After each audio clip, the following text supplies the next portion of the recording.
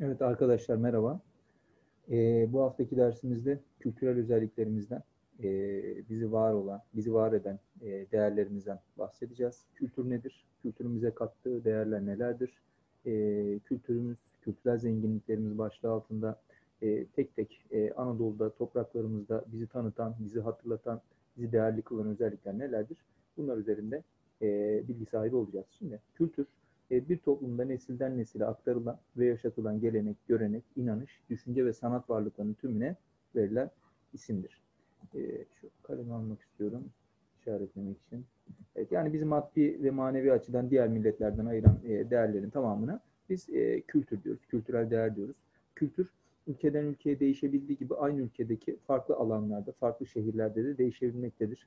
Bu durum ülkemizde kültürel zenginliği göstermektedir kültürel zenginliklerimize verebilecek e, çeşitli örnekler ise önce e, yemeklerimiz kısmından başlatılabilir. Biraz daha yakınlaştırmak istiyorum şu şekilde. Öncelikle e, topraklarımızda bizim e, bulunduğumuz, e, yoğun olarak etkin olduğumuz Anadolu topraklarında e, hangi kültürel değerlerimiz e, yemeklerimizle eşleştirilebilir? Baktığımızda hamsili pilav Karadeniz'e özgü bir yemektir.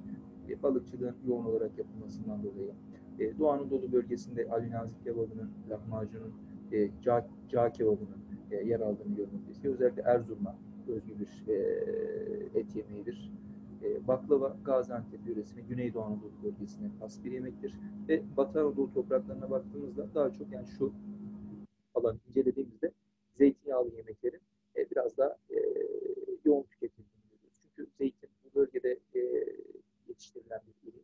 E, Ege ve Akdeniz bölgelerinde bu yüzden yetiştirilen ürün doğrultusunda zeytinyağlı yemekler daha da ilgi görüyor. Nasıl ki Karadeniz'de ekonomik faaliyet olarak balıkçılık var buna yönelik e, hamsi üzerinden yemekler yapılıyorsa e, ve mısır unu elde ediliyorsa aynı şekilde Ege'de de e, Akdeniz'de de zeytin yoğun olarak üretildiği için zeytinyağına dayalı yemekler e, tüketilmekte. Doğu Anadolu'da da hayvancılık geliştiği için e, hayvansal ürünler yoğun olarak tüketiliyor diyoruz. Ülkemiz yemek çeşitliliği bakımından en zengin ülkelerin başına gelmektedir.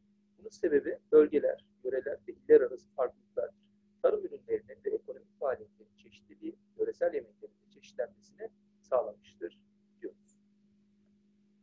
Halk oyunlarımız kısmına bakalım. Yine kültürel olarak bizi tanıtan, bizi e, dünya genelinde e, farklı bir millet olduğumuzu ifade eden e, bir e, kısma değinelim.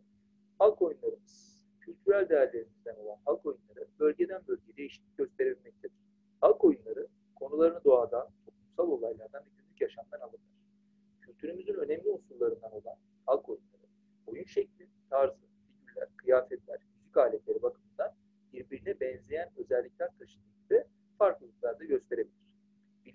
Oynanan halk oyunları kaynaşma, beraber hareket etme, paylaşma gibi duyguları öğretmektedir. Ülkemizde oynanan bazı halk oyunlarından göstermek istiyorum harita üzerinden. Ee, Karadeniz'de yine, Karadeniz'de başlayalım. Horonun e, daha çok e, oynandığını görüyoruz, tercih edildiğini görüyoruz. Dalgalı denizi ve yaşam şartlarının zorluğunu anlatır. Hareketli bir danstır. Karşılama Trakya bölgesinde e, oynanan oyundur. Çiftler karşılıklı oynar. Batı Anadolu'da Zeybek, yani Ege yöresinde Zeybek e, oynanmaktadır. Cesaret ve kahramanlığı anlatır. Doğu Anadolu'da ve Güneydoğu Anadolu'da ise birlik ve beraberliği anlatması hususunda alayın e, tercih edildiğini görmekteyiz. E, burada altın çizmemiz gereken özellikle bir nokta var. Halk oyunları, düğün, nişan, asker uğurlama, sünnet töreni ve bayramlar gibi kutlamalarda sergilenmektedir. Gelenek ve görenekler toplumu bir arada tutan değerlerdir. Bu bahsetmiş olduğumuz kültürel değerlerimiz, manevi değerlerimiz bizi bir arada tutan, bütünlüğümüzü sağlayan değerler. Yine bizim kültürümüzle bağlantılı olan e, geleneksel el, sanatlarıyla devam edelim. El sanatları, ekonomik faaliyetleri, doğal kaynakları, toplumların yapılarına, insanların yaşam tarzlarına ve geleneklerine göre değişiklik gösteren maddi kültürel değerlerdir. Ülkemizdeki geleneksel el sanatlarından bazıları e, hemen e, şu şekilde veriliyor. Halıcılık, Türklerin Orta Asya'dan beri uyguladıkları bir el sanatıdır. Geleneksel Türk halı motifleri genelde geometrik şekiller ve doğa unsurlarının yansıtılması şeklinde olmuştur. Türklerin kullanmış olduğu özellikle halılara baktığımızda, halı dikilimlere baktığımızda daha çok e, hayvancılığı, e, avcılığı anlatan e, temalar görseller e, görmekteyiz arkadaşlar. E, bakırcılık, bakır kolaylıkla şekil alabilen bir metaldir. Çekişle dövülerek istenilen forma getirilebilir. Günümüzde e, hala e, yapılmakta olan bir meslektir bakırcılık. Çinicilik, Kütahya çinicilik için dünyadaki en önemli merkezlerdendir. Fayanslar, vazolar, tabaklar, dış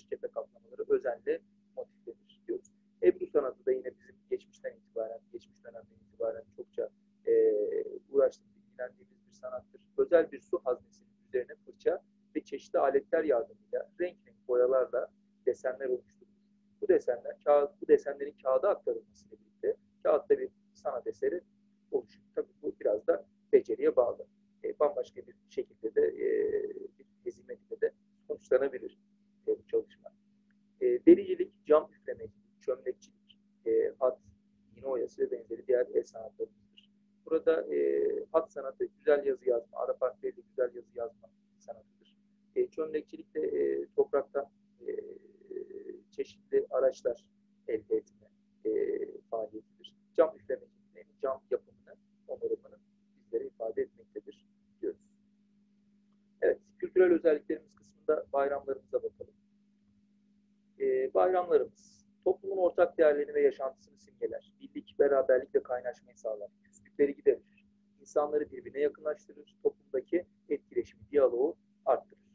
Bu da dini ve e, mevsimlik bayramlarımız ve milli bayramlarımız şeklinde kısımlara ayırıyoruz. Mevsimlik bayramlarımızda her e, yıl 6 Mayıs'ta kutlanan Hıdrellezi, her 21 Mart'ta baharın gelişi olarak kabul ettiğimiz Nevruz'u e, kutlamaktayız, ifade edebiliriz. Dini bayramlarımız kısmında ise Ramazan bayramını ve e, Kurban bayramını verebiliriz.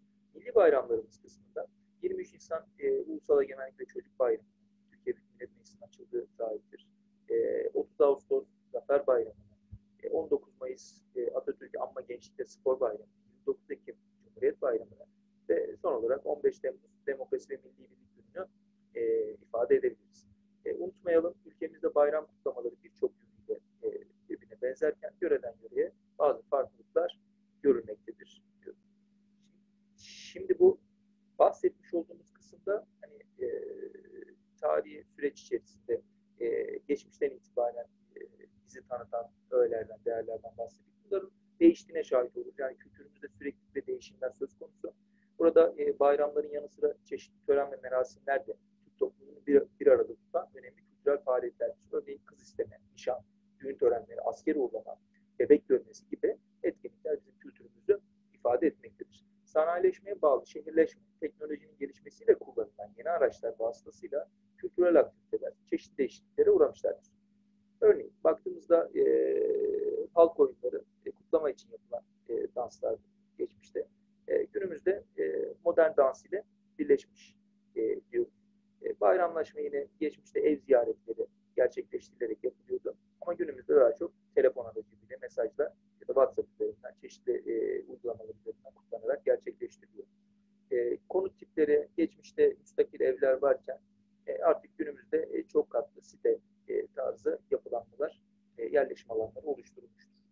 sanatlarında yaygın ve geçim amaçlı e, tamamıyla e, faaliyetlere yönelmişken şimdi nadir ve hobi amaçlı çalışmalar e, olarak değerlendirilmektedir el sanatları. Yani az önce bahsetmiş olduğumuz çömlekçilik, ebru sanatı, bakırcılık gibi alanlar günümüzde hobi amaçlı yapılıyor. E, düğünler geçmişte e, birkaç gün hatta e, birkaç hafta sürecek şekilde e, yapılabiliyordu. Mahalle ve köy düğünleri şeklinde gerçekleştiriliyordu ama artık günümüzde e, birkaç saat içerisinde e, tamamlanan düğünleri görmekteyiz. Kültürel değişim, kültürel unsurların, unsurların zamanla değişime uğramasıdır. Yani şu an bahsetmiş olduğumuz, üst kısımda bahsetmiş olduğumuz gibi. Kültürel süreklilik ise kültürel unsurların önemini koruyarak devam etmesidir. Hala devamlılığı var. Her ne kadar burada kültürel etkinliklerimiz, özelliklerimiz değişmiş olsa da devamlılığı sağlanıyor